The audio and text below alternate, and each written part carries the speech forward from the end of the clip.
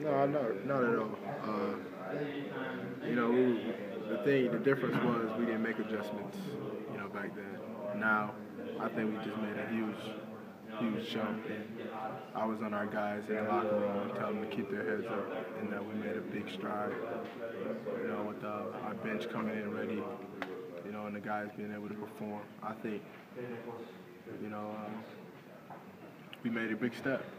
You know, we were still in the game, had a chance to win. Pete knocked it down.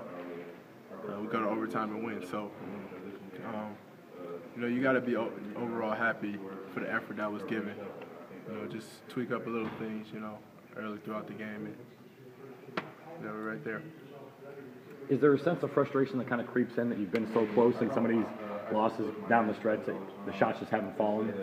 Oh yeah, but you know, you look around, you know, around America in college basketball, you know, every team that's been at the top has gone through, you know, a stretch. You know, we're just happily to go through it, you know, at the end of the season. But um, I was just telling my guys, I mean, that you know, we have a lot of season left, you know, and it's not time for us to hang our heads. You know, it's not the last of the go round. So um, everybody stay positive. You know, we we be right, we'll be right there. With all hope seemed to be lost, you hit that three to kind of bridge, bridge you guys to within three, and then, then you had that three-point shot, and then Woodbury comes up with the. See, like those type of plays right there, you know, um, that's what championship teams do. And, you know, you're able to recognize the clock situation, you call a timeout, and then we get a wide open look in the corner from one of our, our best shooters.